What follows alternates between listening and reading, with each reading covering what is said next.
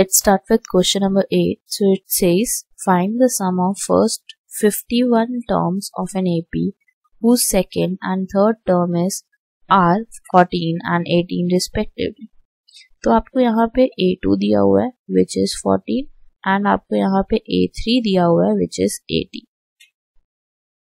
अब आपने क्या करना है एन का फॉर्मूला यूज़ करके A2 को सिंप्लीफाई करना है which will be A plus 1D equals 14. This is your equation number 1.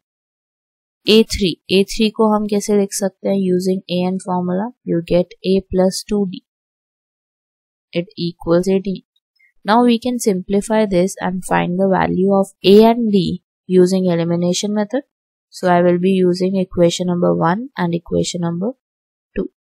So A plus 1D is equal to 14 a plus 2d equal to 18. So subtract them. You will get a minus a as 0, 1d minus 2d as minus d, 14 minus 18 as minus 4. So you get the value of d as minus 4 over minus 1. Cancel it out. You will get d as 4.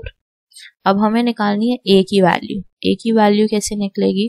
Equation number two से सो. So, यहाँ पे हम put करेंगे D की value which is four it equals eighteen a equals eighteen minus eight four into two is eight तो ए की value हो गई आपकी टेन ए की वैल्यू आ गई डी की वैल्यू आ गई. Now we have to find sum of first fifty one terms मतलब एस फिफ्टी वन निकालना है हमें। So S fifty one is equal to fifty one over two in bracket two of a as ten plus n minus one n minus one means fifty one minus one into d d is four so you get fifty one over two in bracket twenty plus fifty into four is two hundred